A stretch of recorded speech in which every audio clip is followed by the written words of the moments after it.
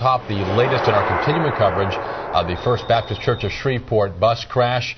Two days after surviving that rollover accident, two teens who were on that church bus headed to Georgia are sharing their stories. KTBS 3's Casey Ferren joins us with that. And Casey, these girls have so much to be thankful for. They do, Jerry, and they say they aren't there aren't enough words to express their gratitude to all the people who were at their side minutes after their bus tossed them to the side of the road, and they say it's a miracle they're alive today.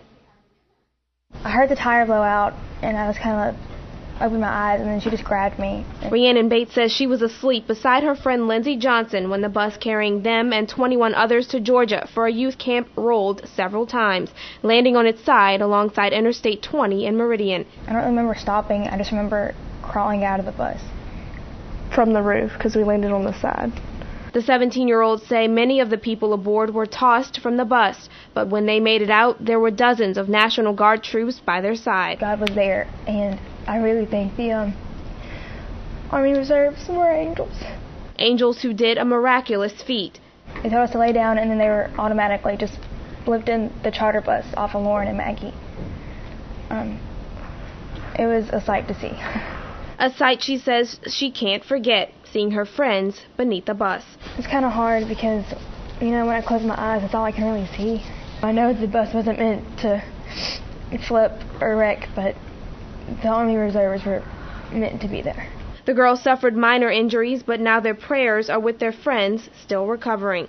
Some people would be angry with God, but I'm not angry at all. I'm just just blessed. The girls say, if anything, their experience has made their faith in God stronger.